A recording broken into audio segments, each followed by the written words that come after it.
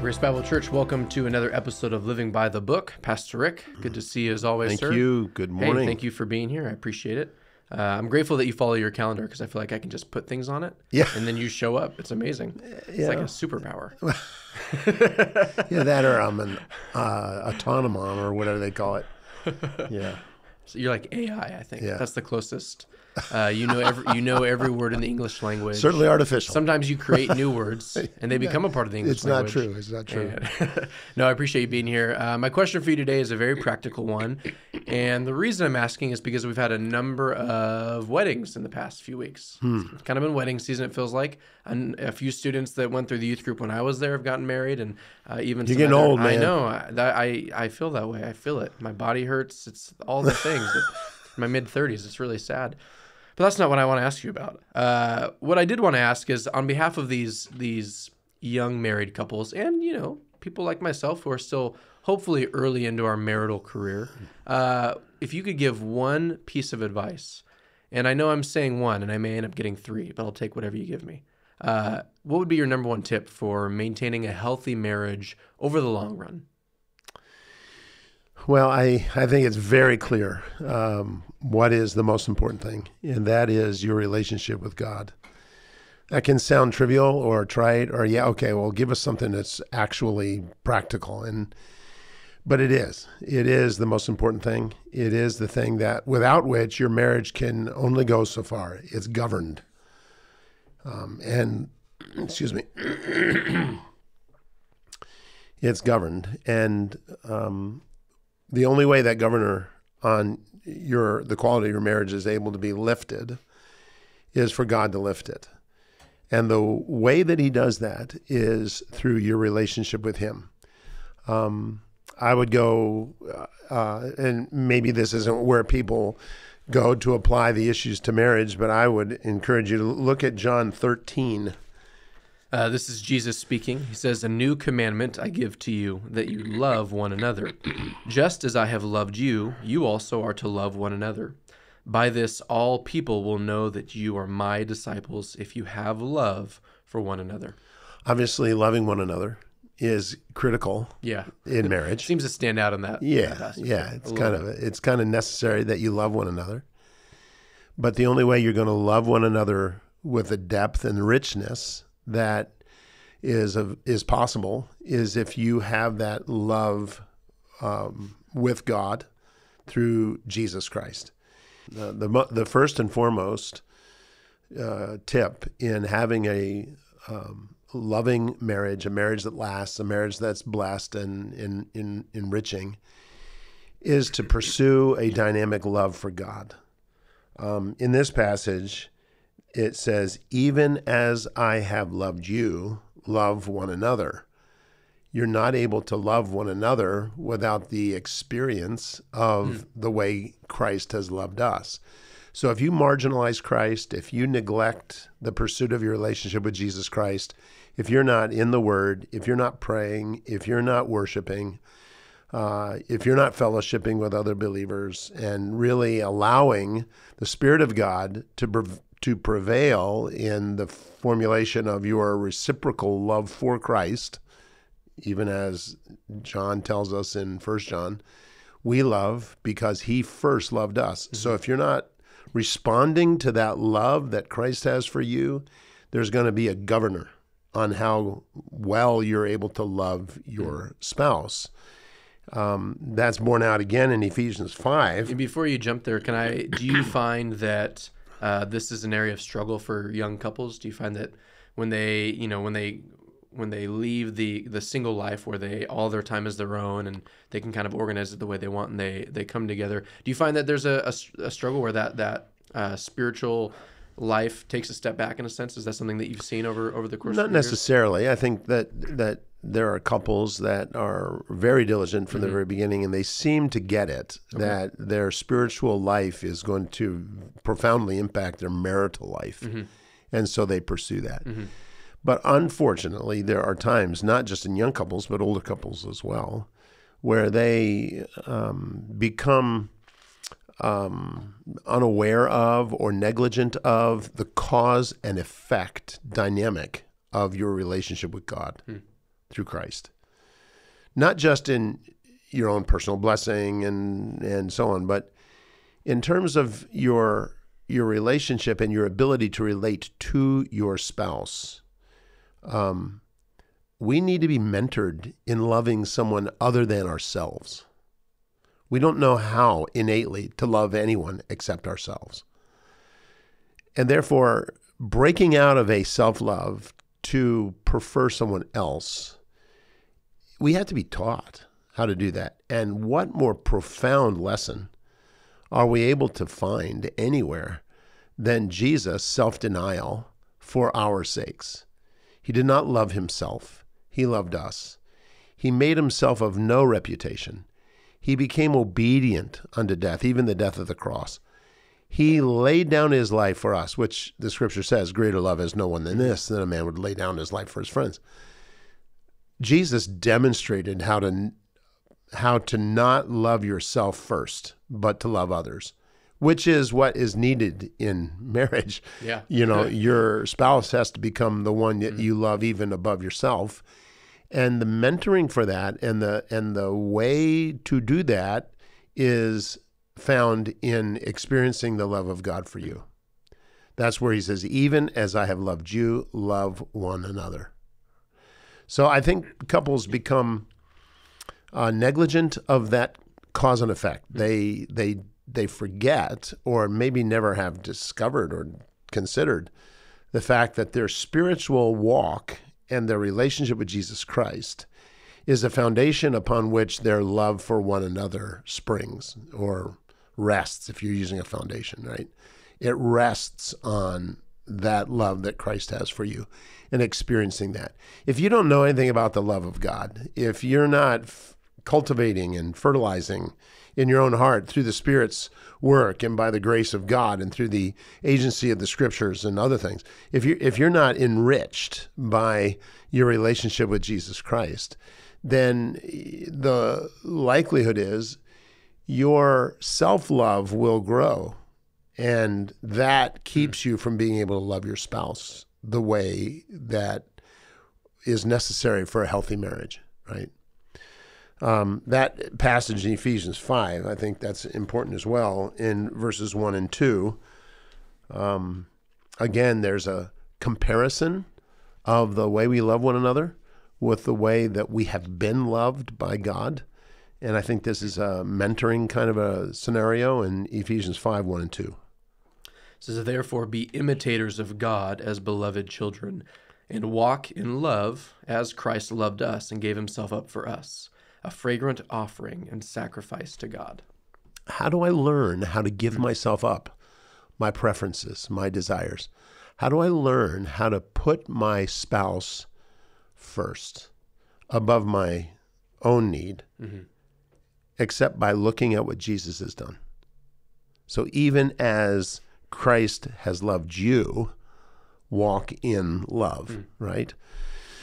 So again, you asked me the key to a happy, successful, blessed marriage, and it is for each person in the marriage to pursue the relationship with God through Jesus Christ, knowing the love of Christ. And if your spouse isn't interested in doing that, you doing it yourself hmm. Is going to enable you to have joy in preferring your spouse, even when they are not doing or behaving the way they should. You, because is that not how Jesus loved us? The Scripture says that while we were yet sinners, Christ loved us. God demonstrated His Yeah. love toward us, right? And Christ died for us. That's the act of love that laid down His life for His friends. So uh, He has taught us to love even the unlovely. So it's not just loving the lovely, loving the person who loves you back, loving it. No, as Christ has loved us means before we are even loved or the person who is the object of our love is ever worthy of it, we love them. And I think that's key. Flip back to John 15 and look at verses 12 and 13. And it advances this a little further. Um, I think. Yeah, John 15, verse 12. Uh, this is my commandment, that you love one another as I have loved you. Greater love has no one than this, that someone lay down his life for his friends. So that's the standard. Yeah. God sets the standard way, way up here, and we understand we cannot do that without grace. Lay down, you know, he says, love one another, just as, not similar to, or approximate, or in a token reflection, hmm.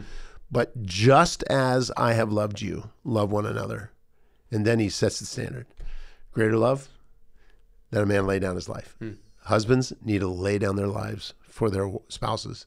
The rest of Ephesians 5 talks about that, right? How that husbands are to love their wives, even as Christ Right. loved the church, gave himself up for her. That's the way husbands are to love their wives.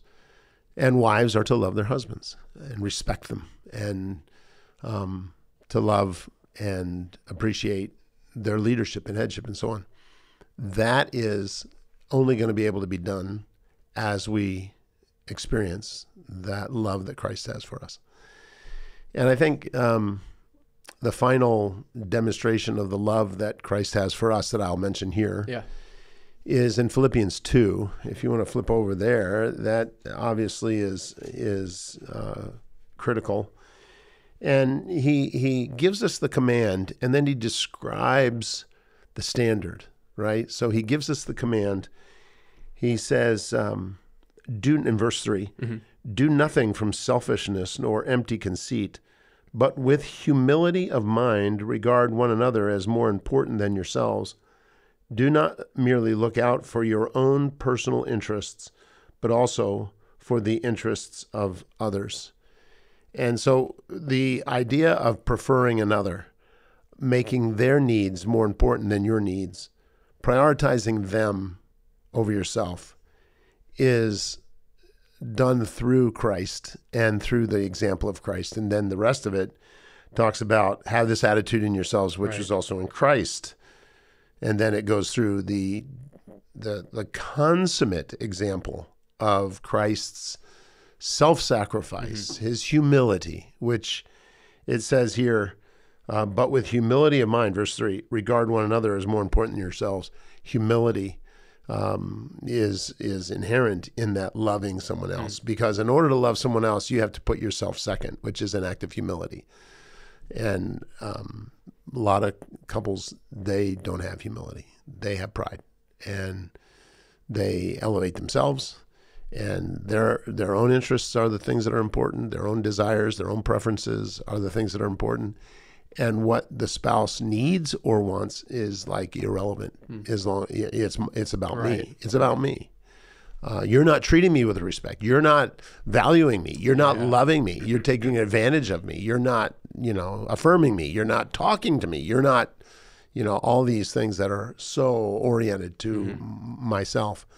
And what the scripture says is the way to have a happy marriage um, is by learning how to love one another and to love one another well. And the way you do that is through the experience of being loved by Christ. Because we can't love even as Christ loved us unless we are aware of how Christ loved us and becoming more aware of how Christ loved us as time goes. And that then gives you the ability. Uh, I was talking to somebody just earlier today that was talking about in marriage, one of the things that is necessary is that every day, every encounter, every exchange, every moment, you make choices. You make a choice to be humble. You make a choice to prefer them. You make a choice to not be offended. You make a choice to um, sacrifice for them. Or you make a choice to put yourself first. You make a choice to be offended. You make a choice to uh, demand of them that they consider you. Uh, you know, you're making choices all the time. Choices become intuitive on the basis of what you are, who you are inside, right? So you choose consistently with your nature. What's dominant in your nature is what drives your choices. We don't have the freedom to choose contrary to our nature. Um, we're, that's our free will is somewhat limited by our nature, even as God's free will is limited by His nature, right? So God can't lie. He can't. He can't renege on His word. He can't um, violate any of His perfections. He's bound by His nature to make choices consistent with that. He can't make a choice inconsistent with his nature. Neither can we. The new nature that we've been given in Christ Jesus when we became new creatures through knowing and experiencing his love changed our nature. Yet we fight our flesh. So if our flesh is resurgent and dominant, the nature is going to drive choices consistent with that. And that's going to be selfish. But as we are knowing the love of Christ, as we are cultivating that heart for God in Christ Jesus, and we're being conformed to the image of Christ, the choices that are going to flow out of that are going to be loving choices, where we choose to love someone more than ourselves, where we regard another mm-hmm. as better than ourselves or more important than ourselves. And that comes from Christ yeah. and his example. Yeah. So the most important thing in marriage is spiritual vitality that mm. comes through a relationship with Jesus Christ. Yeah. It's not impractical. If somebody says, "No, we want something practical." Right. There is nothing more practical than that. That is the base off which all of it flows. Yeah. And I can't advocate for that as a priority in a couple mm. more. No, I, I find that very helpful because you know it's interesting. You uh, you didn't take us to any marriage passages. Mm-hmm. Essentially, what you're saying is if you're if you're doing what any Christian should do, right, you should be able to have a healthy marriage right. because all those passages are, are, just given to believers, right? They're just right. those are just general commands that we're all called. Some of them given in the context of the church in particular. Mm. Uh, so I, I, find it very helpful because in many ways it's it's just like look just. just obey the the commands that God has given you. Pursue Christ like any Christian should, and mm-hmm. that's the key to a healthy marriage. You don't have to do anything in addition to all that. It's just be be a faithful Christian.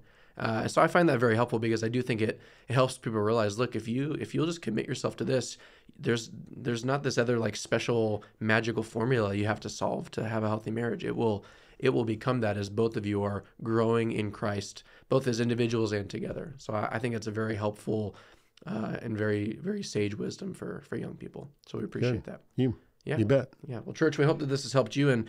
Uh, for those of you, whether you're whether you are married or you are anticipating marriage or hoping to be married, uh, again, this is a principle that that is necessary for every single one of us who would claim to follow Christ. And so we pray that this has encouraged you and that it, it reinvigorates you to to pursue Him as you spend time in His Word this week. So, church, we love you, and we'll see you next time on another episode of Living by the Book.